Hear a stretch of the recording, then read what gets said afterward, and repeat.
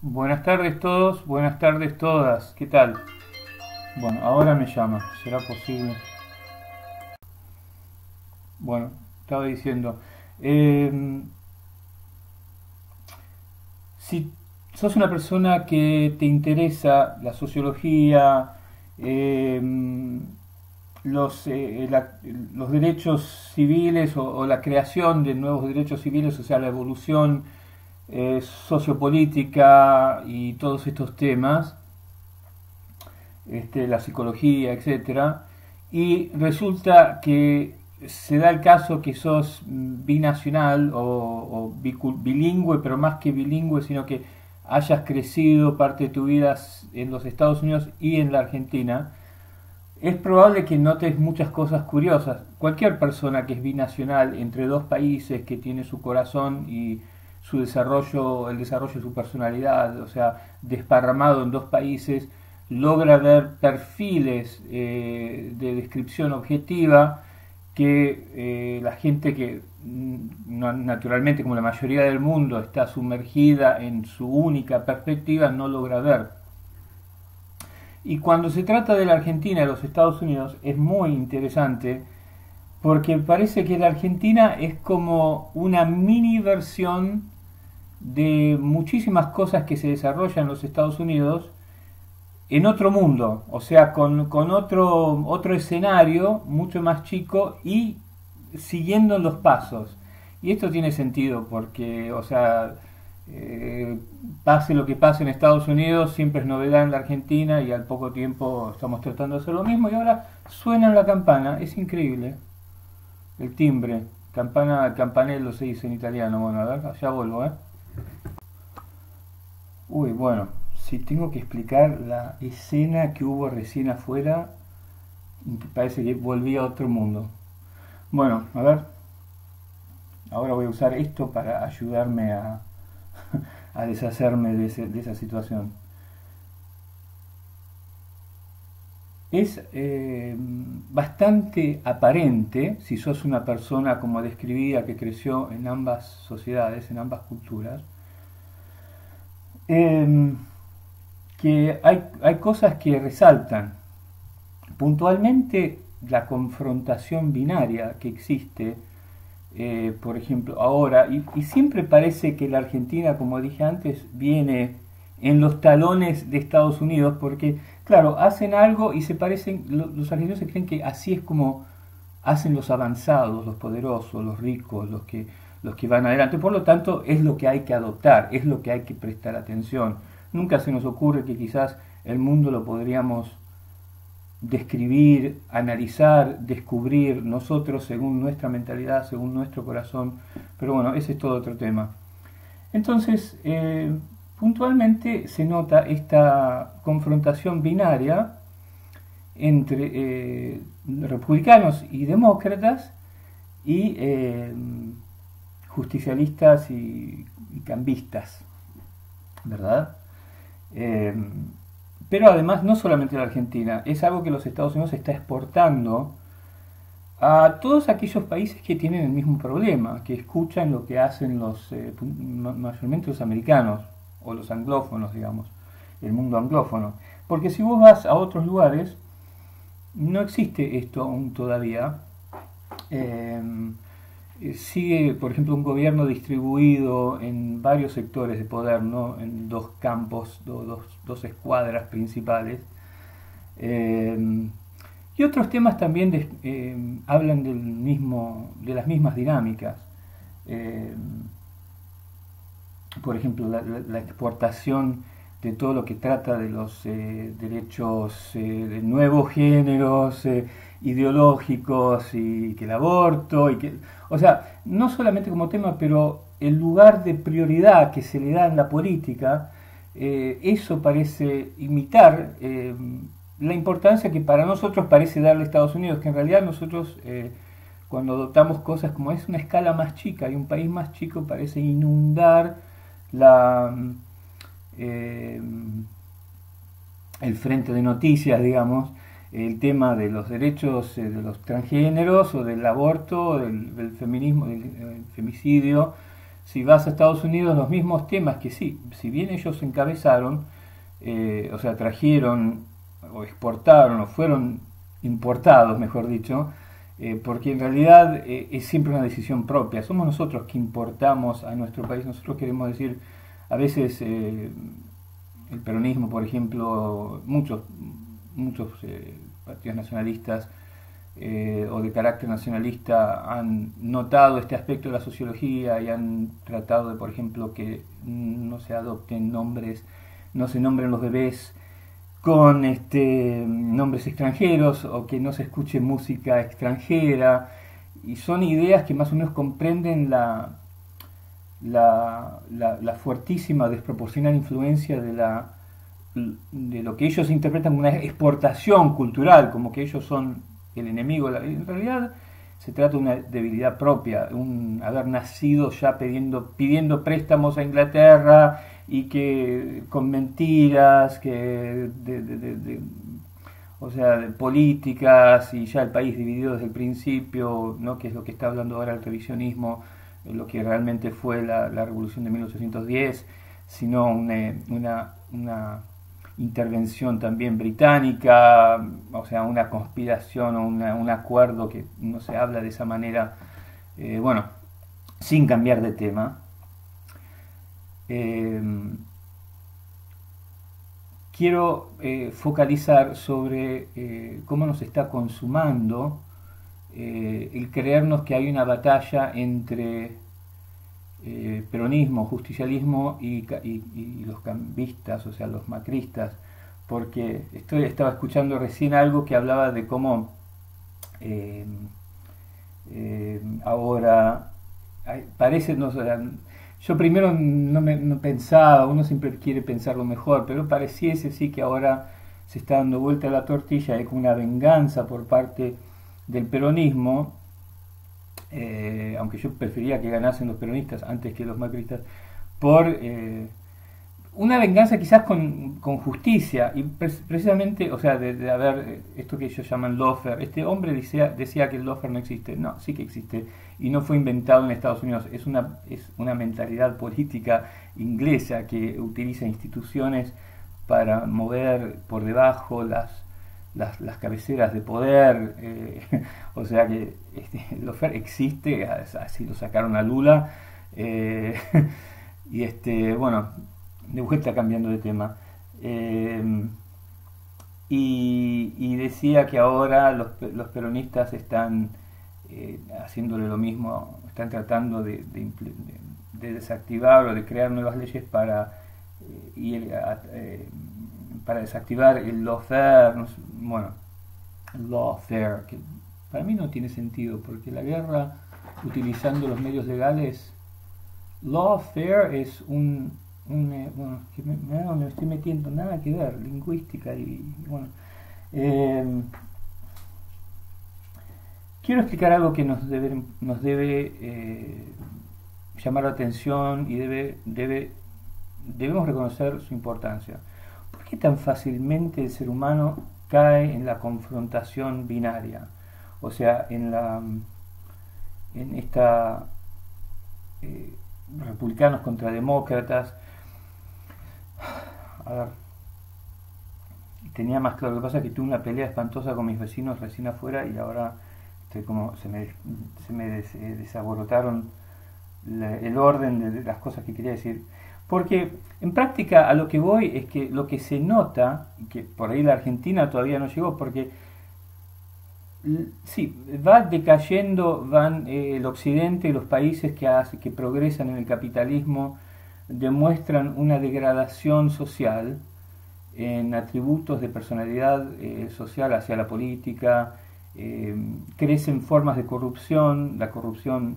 eh, legal que, yo siempre digo caracteriza a los ingleses que se aprovechan de cómo están estructuradas las cosas para de todas maneras exhibir esa parte de la, naturaleza humana que se beneficia a sí misma, a diferencia de la corrupción desprolija de los países latinos quizás que no les importa, no tratan de esconder nada, lo esconden y, enseguida se descubre, bueno, y entonces y eso facilita que los, los países anglófonos puedan decir son ellos los corruptos, nosotros no, nosotros no somos, no somos corruptos. Y lo gracioso es que Estados Unidos está tan eh, saturadamente emigrado de mentalidades eh, que vienen a, a, ser parte de la, de la cultura que se, se, expone mucho más que Inglaterra, o sea, de repente explotan, son, están más, están más, estamos más predispuestos a criticar nuestras intervenciones militares en otros países, criticar contra el gobierno, especialmente reciente, eh, últimamente, antes no, antes no ocurría esto tanto, no se criticaba, no podíamos hacer nunca más Estados Unidos, perfecto, divino, no, ahora sí, ahora resulta que hay un montón de, de periodismo independiente que, que dicen lo que realmente está haciendo el gobierno, es un cambio increíble, y esto en Inglaterra no está llegando tan fuertemente, hay un poco, pero eh, ellos se mantienen mucho más consolidados en su patriotismo militante y toda la glorificación de sus grandes logros bélicos y todo eso viene muy bien armado y mandado hacia adelante. Estados Unidos no, Estados Unidos eh, tiene partes mucho, uno podría decir, más humanas, en que, en que se revela y, se contradice, pero después vuelven los, los otros, los de derecha, los que tienen el poder a tapar o a ignorar, a hacer de cuenta que nadie dijo nada y empujar con todo para adelante. Em, y este, entonces vemos que en Estados Unidos em, se está pasando, o sea, se, está como eh, derechificando la, la, los demócratas que antes, a no ser con, no ser con la excepción de que apareció, de que apareció Bernie Sanders, ahora ojalá que gane. Eh, en realidad, hasta con, si pensás a, los Clinton, por ejemplo, a los Bush, no, perdón, Bush era republicano, eh, pensás a los Clinton, empezás a pensar, parece que los demócratas se están poniendo como los, así, corruptamente eh, eh, obsesionados por el, control institucional, financiero, las intereses hacia la, hacia, o sea, secretismo, hacen de cuenta que que no es su característica, pero crean las guerras, Obama con los drones, o sea, cosas que antes típicamente hubiese dicho, eso lo haría un republicano, no un demócrata. Bueno, entonces, ¿qué vemos? Que a pesar de que son como fases de evolución, y esto lo digo porque me preocupa que, y, y si no, quizás ya está demostrando de alguna manera eso la Argentina, que primero el, idealismo, o sea, la buena idea, la idea más altruista, más grande para servir la sociedad, para servir el país, nace, ¿no es cierto? Y aparecen varios partidos políticos en la, en, la creación de la democracia. No estamos hablando de otros de partidos, de tipos de gobiernos más antiguos, feudales, monarquía o eh, dictaduras, ni nada por esto. Estamos hablando de, la, de, la, la creación moderna de ideas colectivas y en este sentido sea el socialismo el comunismo fue un fracaso porque fue mal configurado, yo, creo mal. Las ideas socialistas no logran bien ordenar cómo puede funcionar la motivación y las dinámicas que sucedan en la sociedad, aún distribuyendo entre todos. Eh, pero la democracia son todos intentos a plurificar el poder. Pero el capitalismo falla. O sea, la idea democrática es, es plurificadora, pero el, capitalismo lo arruina porque el capitalismo pone la motivación y, dota de una voluntad artificial a lo que es al material, a lo material, al capital, al dinero. Entonces los operadores del sistema, porque el sistema no es, no es, no es viviente, no es orgánico, eh, adopta, o sea, empiezan a mover empiezan a pensar en términos de una voluntad materialista, porque lo que ponen es el es como idolatrar, es como poner un, eh, un ídolo, que sería el dinero, el capitalismo, la, ganancia eh, financiaria, como motivante, entonces la mente humana empieza a pensar según la voluntad de ese artefacto. Y eso hace que se empieza a distorsionar la, democracia y empieza a servir los intereses de algunos y, vemos como se, ahora clásicamente el capitalismo viene descrito no clásicamente, pero predominantemente o más recientemente el capitalismo está siendo descrito como algo que requiere de una gran masa de gente que eh, lucha y vive tratando de alcanzar grandes números de pobreza y con el marketing se crea como la, la, zanahoria que, que, dice sí, vos vas a poder vivir divino, vas a poder comprar, comprar, comprar, etcétera. Entonces siguen tirando para adelante y en realidad lo que están haciendo es empujando los que comandan, o sea, los que hacen, los que toman las decisiones, los que tienen el poder en sus manos, para que ellos, a ellos les llega la, la cabeza de la ola, digamos, a ellos les llega el fruto de, de, todas esas, de toda esa masa eh, que junta, mueve al país, les llega eh, la desproporción del, del beneficio a, a ellos. Bueno, entonces, a lo que voy es, en realidad todo esto que expliqué quizás no, parece ir a ningún lado porque en efecto no va a ningún lado. Lo que me interesaba era explicar eh, lo que le sucede a la naturaleza humana, este, o sea,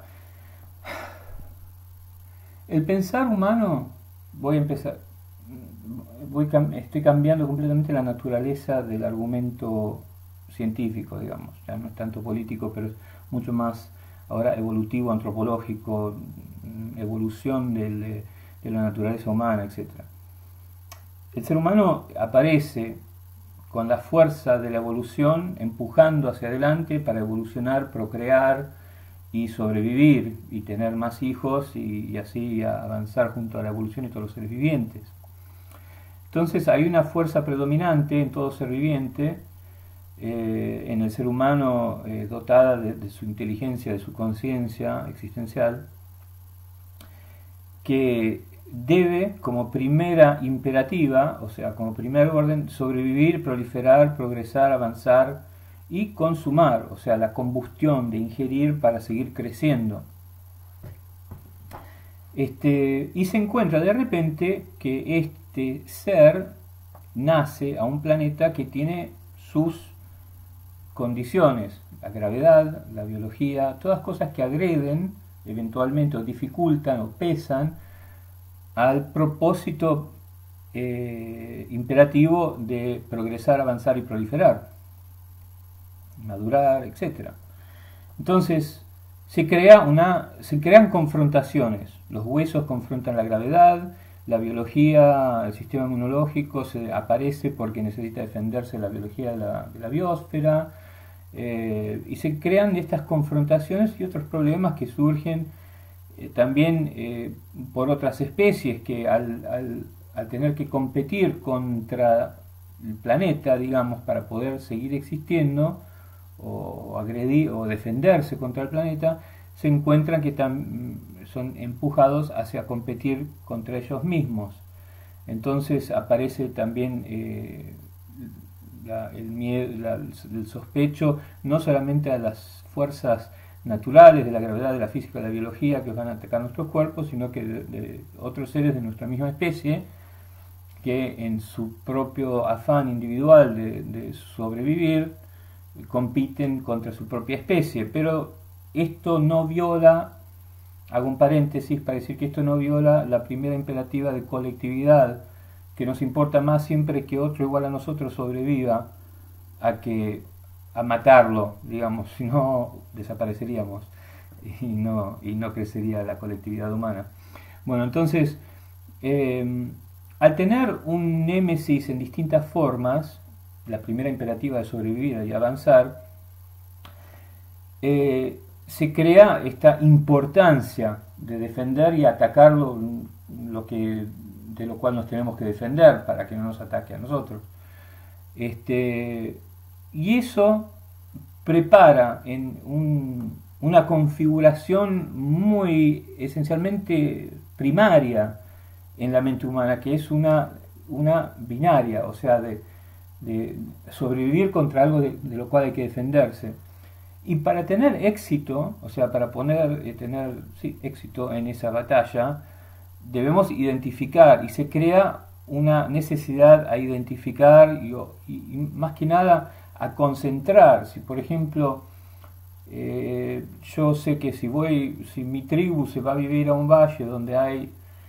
pozos eh, de agua tóxica, volcánica, hay muchos animales peligrosos y insectos venenosos y qué sé yo. Hay distintos motivos por el cual yo convenzo a mi tribu que no hay que ir a vivir a ese valle, tenemos que buscar otro lugar donde, donde emigrar. La necesidad de, controlar el éxito contra esa, eso de lo cual nos tenemos que defender, ese valle, nos obliga a identificar eso como eh, lo más concentradamente posible. Y terminamos diciendo que el valle de Tarará, o sea, el valle de las hormigas venenosas, llamémoslo, es peligroso, no es bueno para nosotros, no es bueno mudarse ahí, es una cosa mala, fea, que hace mal y basta. Porque no podemos estar siempre cargando y reexplicando todos los distintos argumentos y por qué sería demasiado difícil tratar de establecernos en ese valle, sino que se convierte en el valle no deseado. Por eso, por ejemplo, nombramos eh, Laguna Mala, Laguna Buena, Mar, eh, Mar de la Muerte, qué sé yo, Costa Brava. O sea, porque hay una necesidad. ¿Hay, hay algo, hay como un insecto atrapado en, adentro de la pantalla, me parece. Bueno, entonces se configura la mente a una necesidad de... Por eso tendemos a fácilmente agredir contra algo que nos resulta amenazante. No primero nos resultan amenazantes las cosas, primero no las entendemos, son distintas, son inesperadas, nos sorprenden por... y enseguida del desconocido aparece la posibilidad, a no ser que enseguida identifiquemos el peligro, de algo que nos puede hacer mal. Entonces, eh, así se, fácilmente caemos en la batalla por motivo de esta configuración binaria que tenemos en la cabeza. Entonces, esto explica por qué los sistemas democráticos han caído y Estados Unidos porque es el que está más, hablando más fuerte, es el que domina junto a Inglaterra y a los países anglófonos toda la comunicabilidad del planeta prácticamente. Eh, los chinos ni se enteran porque este su mundo está en chino, eh, bueno, y muchos otros países lo mismo, pero aún en Rusia o en la India, o sea, es como que su mundo se trata de sus idiomas, pero es talmente fuerte la influencia educativa y comunicativa del idioma inglés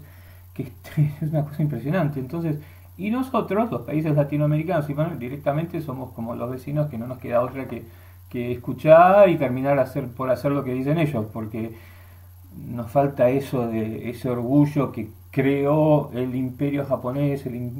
la cultura cambodia, de, de Cambodia, de la India, de, de egipciana, o sea que saben que tienen raíces que son más antiguas que Estados Unidos inclusive. Nosotros no tenemos eso, entonces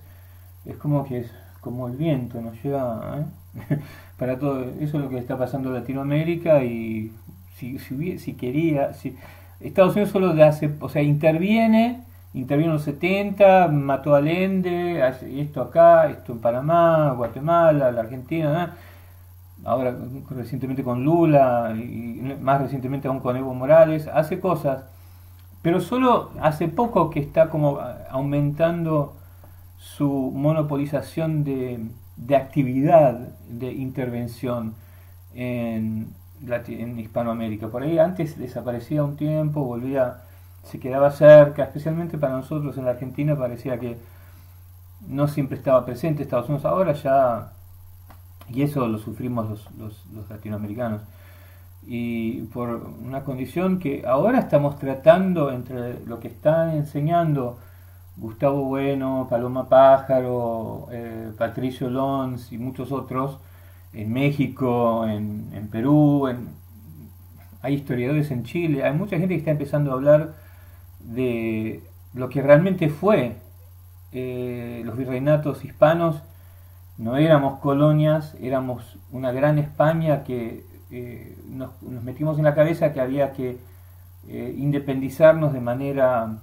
como si hubiésemos estado siendo hostigados por España. Bueno, y porque también nos, nos, gustaba la idea en que hacían las cosas Estados Unidos ya desde entonces. Entonces la batalla, la... Eh, bueno, no, me estoy yendo un poquito, estoy empezando a decir boludeces, pero bueno, es, es eh, a pesar de que tenemos gente que está revisando la narrativa eh, histórica de Latinoamérica está empezando a hablar de cómo realmente se desarrollaron las cosas, no es algo que aún eh, pobló y llenó la autopercepción del hispanoamericano y del latinoamericano. Aún seguimos pensando un montón de cosas y muchas tienen que ver con que si no es Estados Unidos es otro país y ahora los chinos y ahora que siempre Inglaterra, o sea, siempre, nunca, es como que nosotros no existimos, como que eh, nunca está esa voz que sabe decir, bueno, será esto Estados Unidos, será eso Alemania, será eso China, pero para mí vale, no vale, me, me tomo eso, rechazo el otro y me hago y continúo de esta manera. O sea,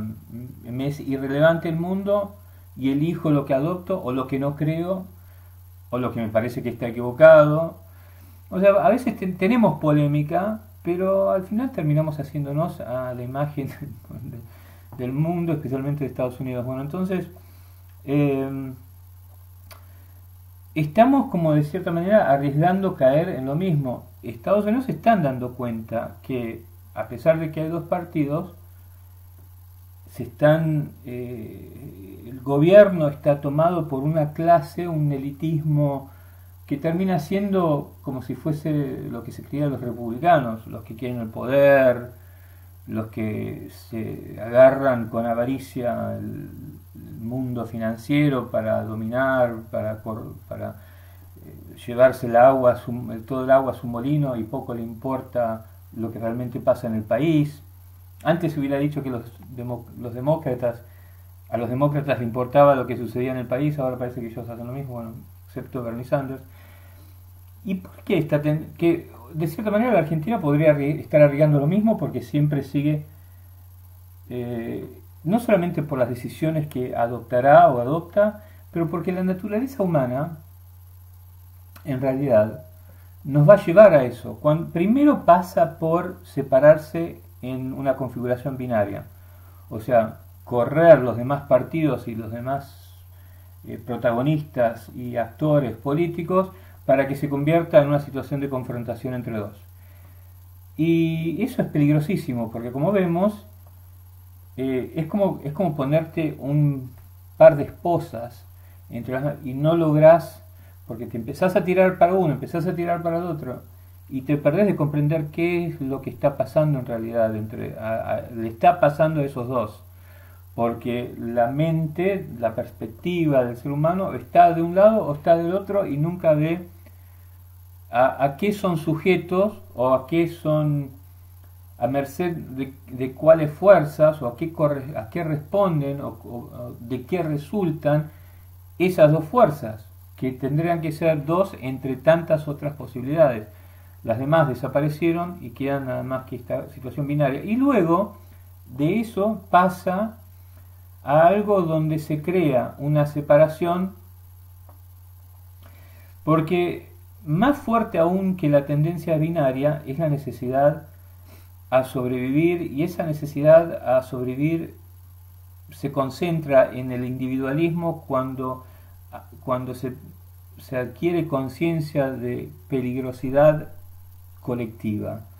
O sea, si todo está estable y estamos en paz en un clan, en una tribu, en un valle, todo de acuerdo, bueno, eh, aparece el liderazgo, la, la, la o sea, el jefe o la clase dirigente o los que, los que llevan adelante la sociedad. Mm, o sea, y sin, sin nada empeoraría o nada se pondría más difícil o, eh, o más peligroso, se puede continuar a evolucionar y aparece un sistema una idea gobernativa que dice acá sería mejor si no fuésemos nada más que un grupo de gente que lidera, un jefe, un rey o lo que fuese, pero creásemos un gobierno donde todos pueden aportar a la dirigencia de la, de la tribu, ¿no es cierto? Pero si la, la estabilidad y la paz se, se debilita, desaparece porque aumenta el peligro, la dificultad, la lucha, la, o sea, el sufrir, eh, que es lo que a, lo que tiende la totalidad de la existencial en el planeta, en realidad, eh, tarde o temprano, a no ser que tenemos un sentido de focalización y concentración increíble como, eh, como especie, como, como sociedad, la tendencia es que eh, aparezca más egoísmo, o sea que los que lideraban, en vez de ponerse a pensar un, un sistema mejor para distribuir el poder, empiecen a concentrarse más, a alejarse más, a agarrarse más cosas para ellos y, menos les importe los que están sufriendo y aún más los que están más alejados todavía y peor les está yendo en la tribu. Entonces, y de cierta manera es lo que está, eh, o sea, y eso en sí es relativo, porque eh, uno podría decir que hoy en día, comparado a lo que se sufría en la Edad Media, tendríamos que estar felices de la abundancia, o sea, podemos apretar un botón y sanar una enfermedad, algunas enfermedades, eh, y no veo por qué tendríamos que considerarnos que estamos sufriendo o difícil, pero eh, en realidad sí porque hay también un plano de perspectiva general que establece una relatividad de autopercepción. Entonces, si la persona hoy por hoy sale a la calle, va a, un extremo de la ciudad y ve prostitutas, ve gente durmiendo en la calle, drogándose, eh, gente destituida que camina triste o deprimida, y después autos con gente rica que les pasa por al lado y no les importa nada de nadie. De repente ve eso y, lo, y es tan real como lo, para una persona hoy como en la época medieval eh, una persona de un pueblo de los alrededores del castillo alejarse un poquito del campo y ver una persona que, que rengueaba sin una pierna, sin un ojo, tratando de sobrevivir en una, en una choza en medio del campo. O sea, entonces, eh, eso, o sea, eh, es relativo a la perspectiva lo que termina generando las dinámicas que, de las cuales estoy describiendo. Y hoy por hoy está aumentando, eh, estamos en un periodo en que vemos más distancia entre gente que tiene todo, parece que espléndida, salen las películas con todas sus, con todas sus riquezas, los, los idolatramos porque son eh, fabulosos, espléndidos y tienen, o sea, eso es lo que vemos, resulta que tienen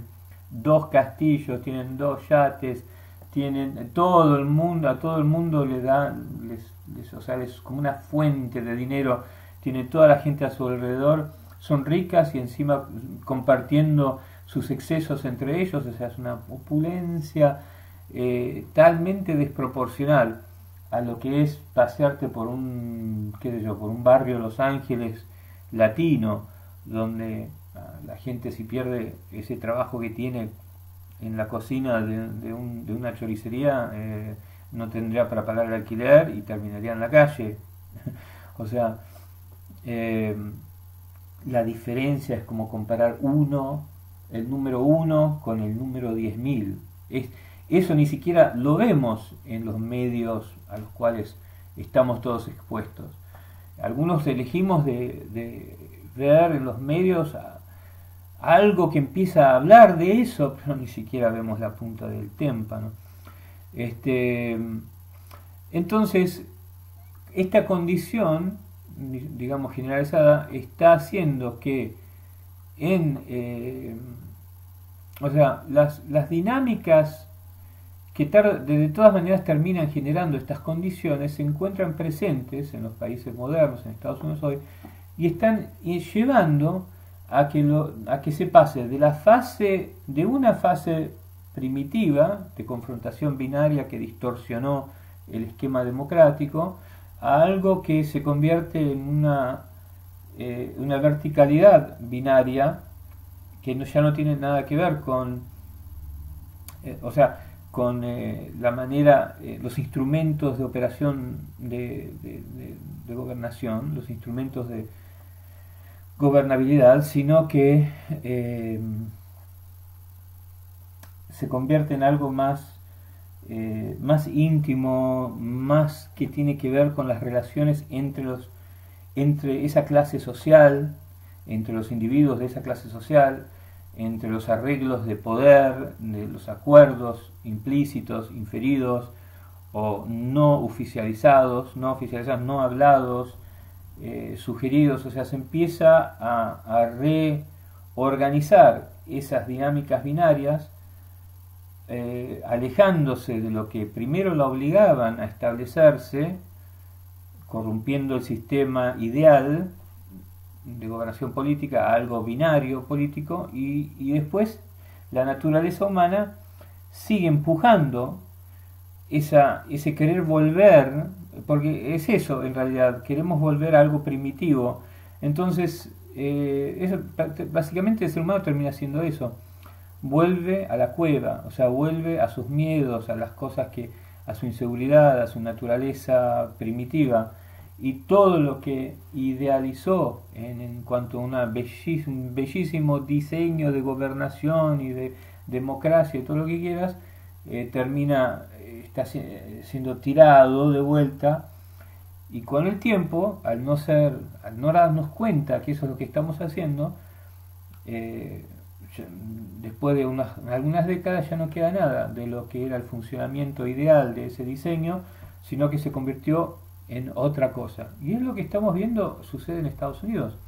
en, en cuanto al gobierno y ah, también en su relación con el mundo, porque, ah, eh, por ejemplo, lo que pasó con Venezuela, con Bolivia se cuida, era más fácil taparlo, con Venezuela tan escandalosos estos que eh, no, no hubo manera de, de eh, en el gobierno, los cubanos, que americanos cubanos también, en, Rubio y los otros son por naturaleza tienen que hacer un escándalo, entonces no se logró tapar la alevosa hipocresía de, directamente decir nosotros queremos que gobierne este, no el que eligieron ustedes. Vamos, nosotros queremos a Guaidó y todas las mentiras de, de Bolton, de, de, Pompeo, de Abrams, todas las mentiras que decían, el público americano no lo podía creer mejor dicho, los que están pensando, los, la mayoría creían todo lo que decían, pero los que están yendo a buscar información en otros lados, estábamos así como diciendo, no puede ser que sea tan, tan caradura eh, el gobierno, que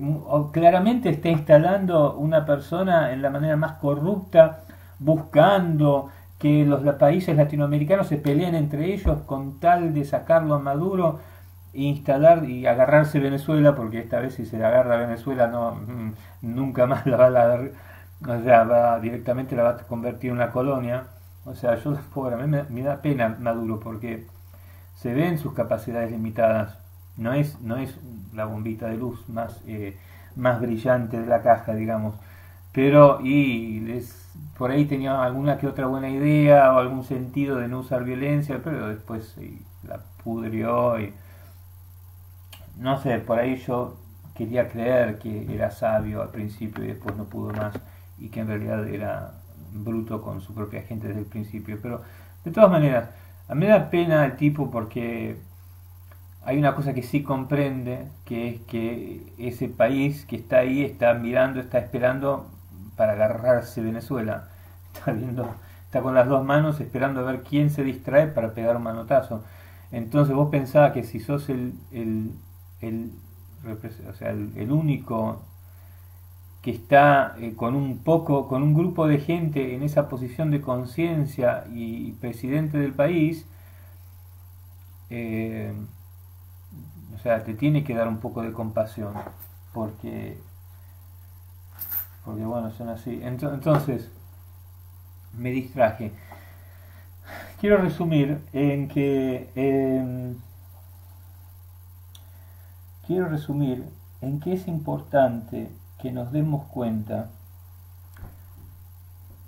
que hay que abrir gobierno y distribuir participación en, en, todos lados. O sea, en el Congreso se mantiene, hay un sentido de participación más, pero además eh, más eh, palpable. Eh, pero no tendría que haber mayorías, porque lo que pasa es que nosotros nos creemos que si hacemos sistemas que por ahí terminan en que los, los, partidos más populares terminan dividiendo el Congreso en dos, que es lo que pasa en Estados Unidos, está nítidamente dividido en dos, en dos partidos.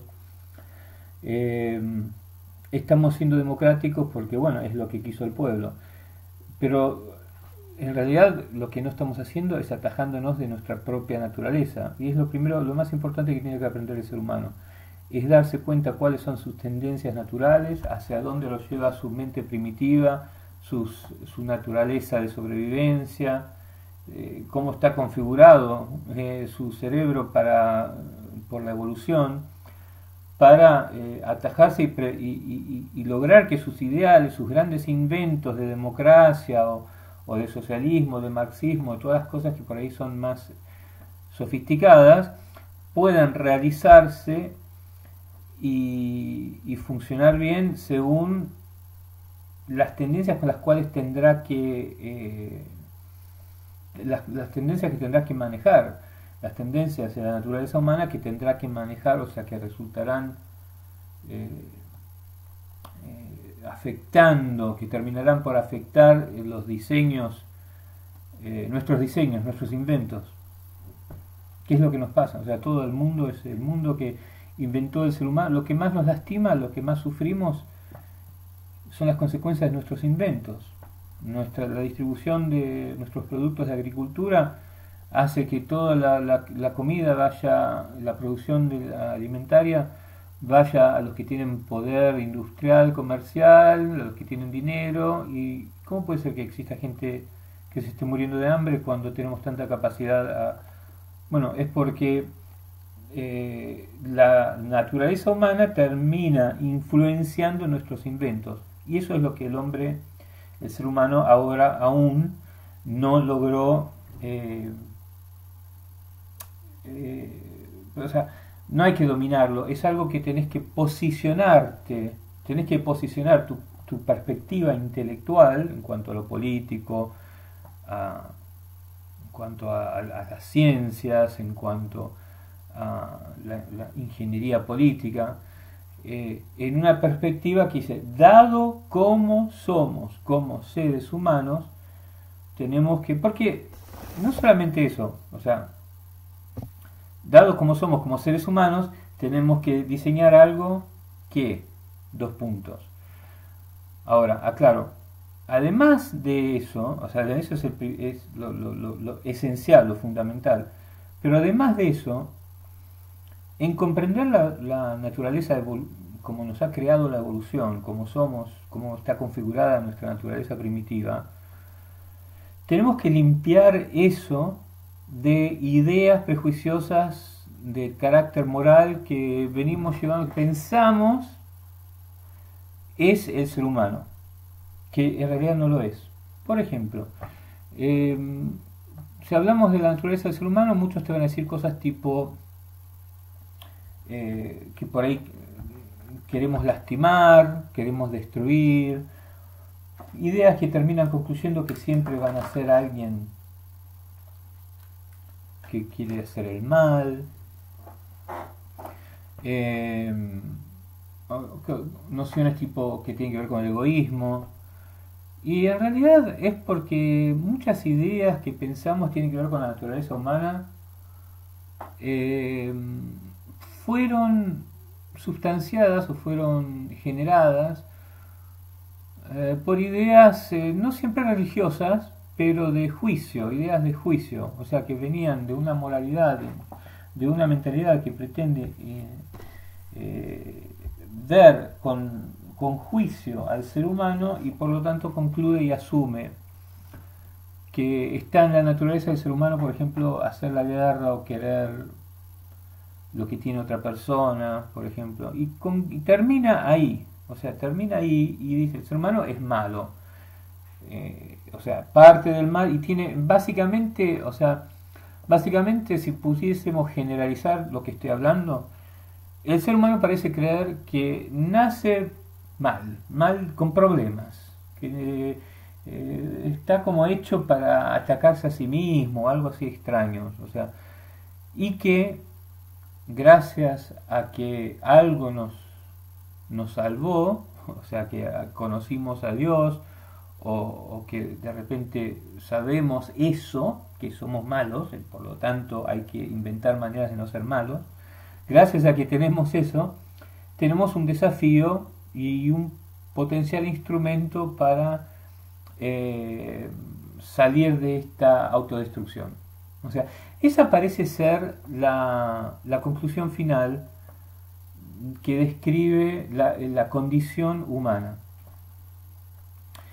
Esto no tiene ningún sentido para el evolucionismo ni para la naturalidad del cosmos. O sea, eh, nunca podríamos haber llegado a ser 7 billones de personas si la primer fuerza es una que nace para una cierta, porque es muy fácil que una persona mate a 10,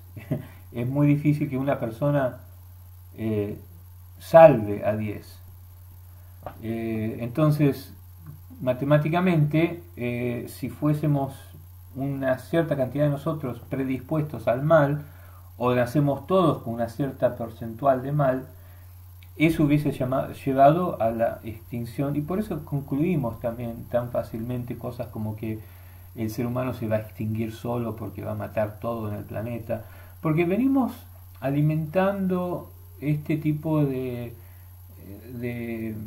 conclusión generalizada eh, respecto a la descripción nuestra existencial. Pero en realidad la naturaleza humana está hecha por un orden, un orden positivo de crecimiento y de evolución, de progreso, de avance, digamos, pero que es talmente lo normal y lo natural y lo creado como intención cósmica de la evolución, que es lo que menos notamos. O sea, vos te mirás la mano y ni siquiera la aprecias. Pero de repente si te lastimás, no te das cuenta de lo terrible que es que un dedo no te funcione o que te duela una parte de, de la mano y de repente la apreciás y todos tus pensamientos se dirigen a eso que disturbó la perfección del ser de tu mano. Bueno, al ser humano le pasa lo mismo. Nosotros el bien, la, proliferación, el avanzar, la salud, o sea, el buen estado de salud, lo damos por descontado, pero no porque somos malos y no apreciamos, sino porque esa es la primer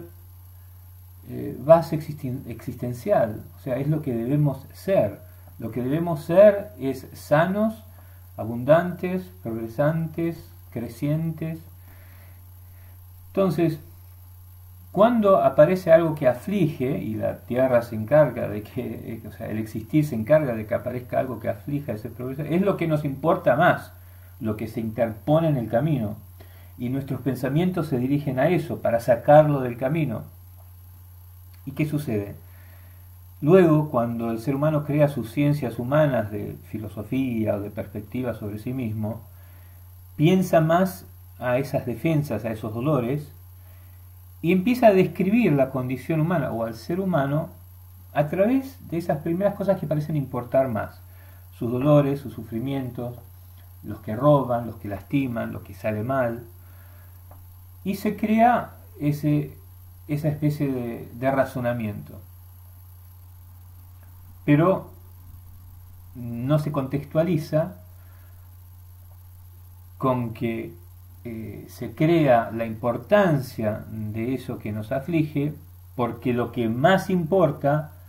ah, lo que más nos importa es que estemos bien, o sea, que, que podamos crecer y avanzar y continuar a vivir eh, abundantemente y sin obstáculos. Entonces, como eso es lo que lo primero que nos motiva, es el motivo por el cual terminamos describiendo y, siendo buenos en describir nuestros problemas, que es importante para resolverlos y para sacarlos del camino, pero no nos podemos olvidar que es para vivir, por la vida, por la felicidad. Ese es el orden que el ser humano nunca ha tenido muy bien establecido en la creación de sus naciones, de sus gobiernos, de sus filosofías sociales, de nada. O sea, y inclusive aparece la religión, porque la religión es eh, como la autoridad que explica con más firmeza algo que en, una explicación que caímos equivocadamente. Eh, o sea, no tiene sentido para nosotros que un, uno de nuestros hijos le quiera hacer mal al otro hijo. O sea, no tiene sentido para nosotros que un ex marido o una ex mujer venga, se lleve un hijo, haga mal, lastime a un familiar, mate al abuelo. No tiene sentido que un vecino con el cual crecimos venga y destruya y nos queme la casa. No tiene sentido que, o sea, que, por ejemplo, algo que nos hizo tan feliz, eh, vivir en este valle, de repente eh, se convierta en un lugar que nos hace mal porque aparecieron un montón de bichos, arañas venenosas que están picando y dando enfermedades a toda la gente que vive en el valle. O sea, lo que agrede el éxito de nuestra imperativa y primera imperativa, que es sobrevivir y proliferar, no tiene congruencia, porque quiere, o sea, la existencia quiere estar sola, o sea, la voluntad existencial, la evolución, el avanzar, el aparecer como especies y seguir evolucionando y avanzando, no, está sola, no, no, no, no viene al mundo esperando encontrar un enemigo. Eh, aparece, quiere vivir. Entonces, cuando vemos esto que, que ataca la, mentalidad de, la voluntad del existir y del avanzar, no tiene sentido racional a nuestra intuición, a nuestra única imperativa que es vivir, seguir viviendo y seguir viviendo. Y como no tiene respuesta esta situación, no tiene respuesta, es algo que no debería pasar. Podemos, eh, sí, comprender que sucede porque la vida aparece en un planeta, o sea, la vida aparece en algo que eh, no eligió, en realidad, como voluntad consciente. Y el planeta tiene sus propias su, propia vida, o sea, evoluciona, si el sol está ahí, si el sol no está más, si el sol crece, desaparece, se seca, eh, llueve o no llueve, no está pensando en que va a matar la pobre vida que viene a vivir sobre él. Entonces nos encontramos con algo. Esa relación que confronta la voluntad del existir es el principio, o sea, la, base de una, eh, de una comprensión precisa de nuestra condición existencial y nunca la hemos realmente eh, dominado, o sea, adoptado en lo que va a afectar nuestra mentalidad. Nosotros hemos inventado sistemas, instituciones, hemos creado ideas, razonamientos con los cuales regir una sociedad ah, que han sido eh, afectados, o sea, que han fallado en, su función por nuestra mentalidad, porque nunca hemos diseñado esas cosas según cómo está configurada nuestra mente ante su real condición existencial, que es la confrontación con el planeta. Entonces, ¿qué sucede? Fracasamos, todo falla, todos nuestros inventos, todas nuestras instituciones, nuestro país, los imperios, todos caen. Eh, o sea, estamos como tratando siempre de alzar algo que no se, no se, no se para, no logra, estar, no logra quedar separado. Nuestras ciencias médicas terminamos descubriendo que nos hacíamos un mal, muy raramente la pegamos y ¿no? hay un, una porcentual de cosas que inventamos que se mueven adentro de algo que está muy armonizado, muy cerca a una armonía con la creación y es cuando descubrimos algo generalmente elemental, base, que no cambia, o sea, que siempre va a haber un amanecer, se puede decir que es ciencia, y no nos vamos a equivocar nunca. o sea, que hay cosas que, eh, sí, pero la mayoría no aguantan, la mayoría demuestran tarde o temprano que nacieron alejándose de la, del diseño natural. Entonces eh, duran poco o empiezan a causar mal y no nos damos cuenta por qué. Este, bueno, y la, lo que nos está pasando en, esta, en los gobiernos hoy día, entre sea en Estados Unidos que en la Argentina, eh, con esta separación de, dos escuadras y la, eh, emerger una, otra, otra división vertical en vez de horizontal, eh, o sea, tiene que ver con a lo que nos va a llevar nuestra naturaleza de toda manera y eso es lo que tenemos que tener bien en las manos. O sea, tenemos que darnos cuenta cómo siempre vamos a hacer. Ah, esto es lo que quería decir antes. Que comprender la naturaleza humana es también a su vez un desafío porque eh, en realidad somos más buenos de lo que nos, nos queremos ver. O sea, en realidad lo que pasa es que nos importa más el dolor y el sufrimiento y la sospecha o el miedo o el peligro de lo que nos importa el éxito de lo que es más importante y a la larga siempre va a, va a subsistir. O sea, cuando nosotros destruyamos nuestro mundo, siempre va a haber un grupo de seres humanos que van a volver a pararse y van a empezar de vuelta. Entonces, si queremos comprender, tenemos que comprender que el ser humano, en otras palabras, quiere estar bien. En todos, en realidad, nadie quiere ser ladrón, como, como se ha dicho en algunas en, algunos, en algunas áreas de psicología o de, filosofía. Nadie quiere ser una persona que lastima, nadie quiere ser rechazado por la sociedad, nadie quiere ser distinto y o sea, ahora dicen cosas que inclusive guían mal a las personas porque tienen consecuencias. En, la gente a veces es profunda en lo que piensa y escucha a alguien que dice es importante ser distinto porque para tratar con el racismo y que si sos negro y que si sos, tenés que, tendrían que tenés que ser apreciado por tus diferencias entonces de repente aparecen chicos que eh, empiezan a decir eh, yo soy distinto a los demás y por eso soy mejor, para dar un ejemplo. O sea, tener que cuidado con lo que enseñamos.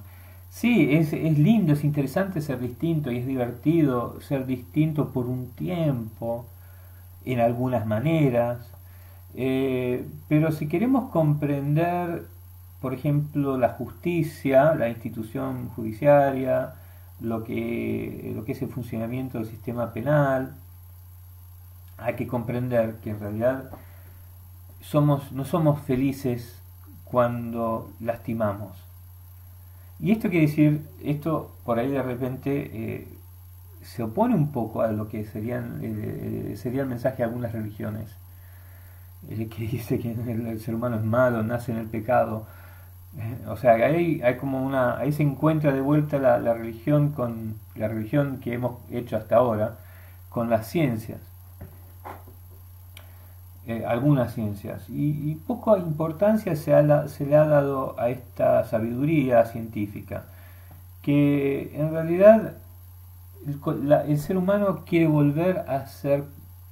una colectividad íntegra. En realidad algo muy profundo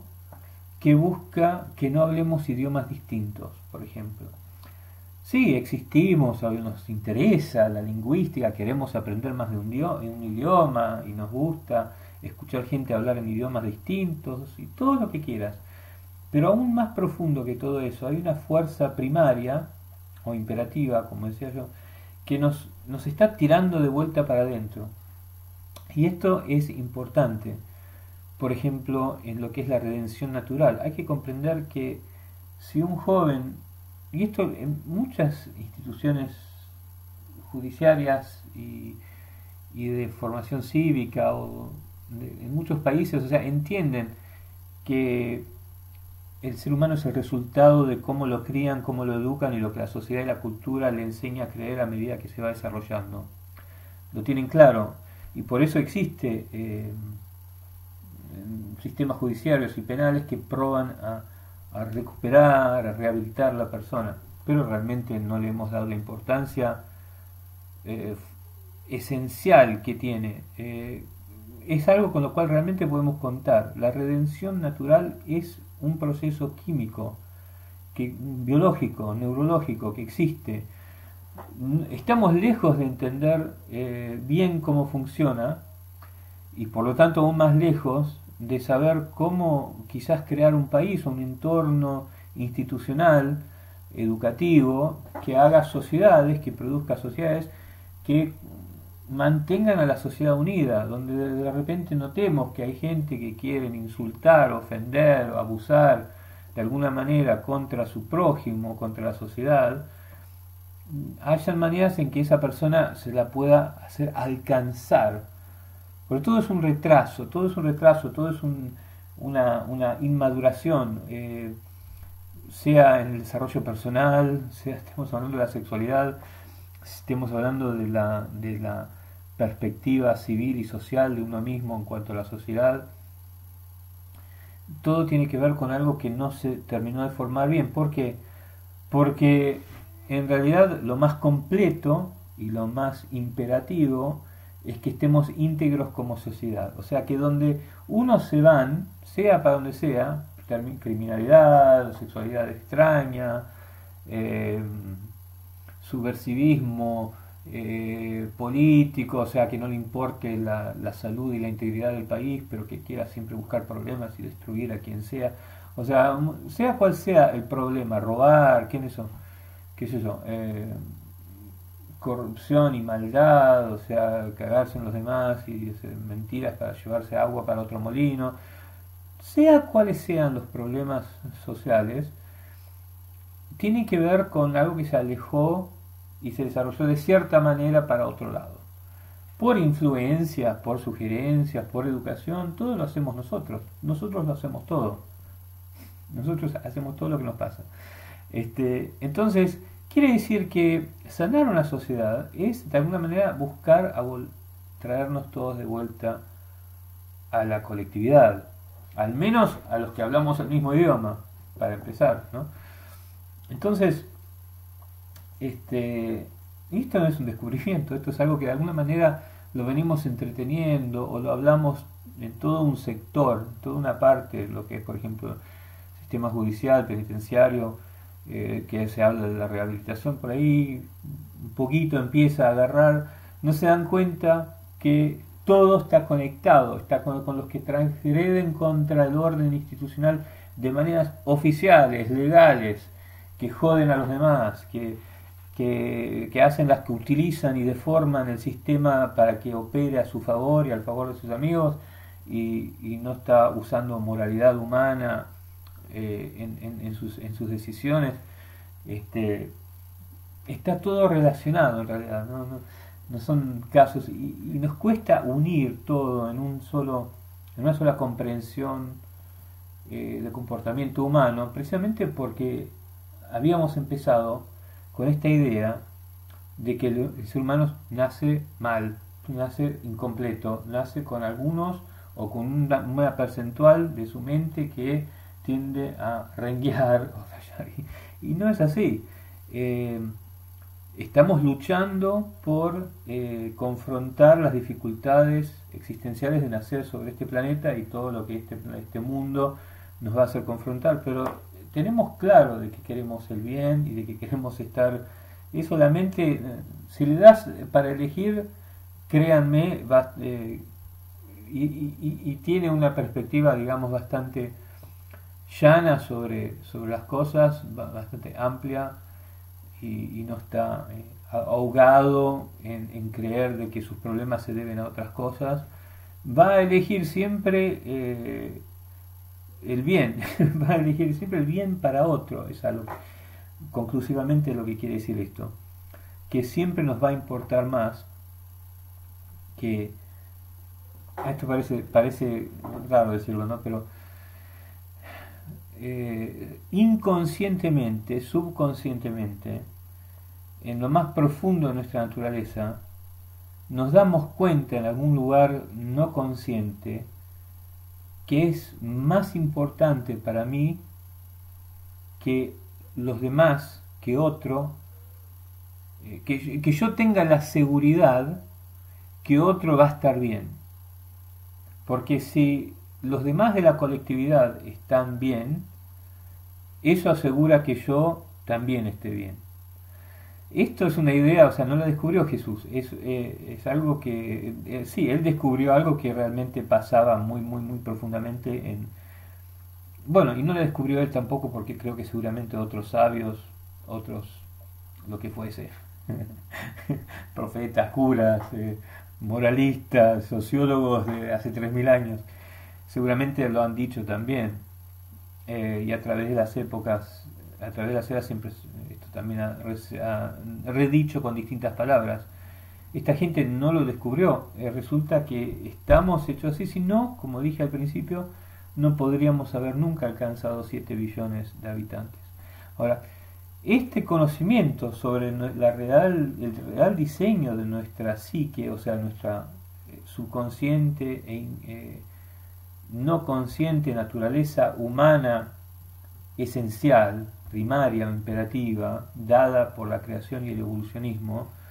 es importantísimo que la mapiemos, o sea, que la dibujemos bien y que comprendamos bien cómo está hecha la especie, la mentalidad de la especie para sobrevivir en colectividad. Porque luego todas las demás cosas van a tener más sentido natural, a organizarnos para que funcione lo mejor posible, no para comandarnos, bloquearnos, dominar, obstaculizar, prevenir, categorizar, ninguna de esas cosas, sino que para que funcione lo mejor posible, que sería un diseño político, gobernativo, institucional completamente distinto a lo que hemos conocido. Y sin embargo, de alguna manera estamos tratando de llegar a eso. Cuando tratamos de diseñar sistemas que atacan el elitismo, la oligarquía, el poder por pocos, eh, el abuso contra el medio ambiente y, y hacer las cosas más orgánicamente, más socialmente, más colectivamente, de alguna manera estamos tratando como especie, como civilización, estamos empujando, estamos tratando de llegar a eso. Al concepto, quizás si lo comprendemos mejor, nos va a ayudar a poder empezar a producir sistemas, ideas eh, más, mejor, más eh, mejores, mejores y más rápido, ¿no es cierto? Bueno, ok, gracias y que tengan un buen día.